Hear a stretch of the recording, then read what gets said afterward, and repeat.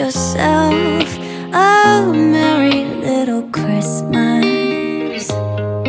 Let your heart be light. From now on, our troubles will be out of sight.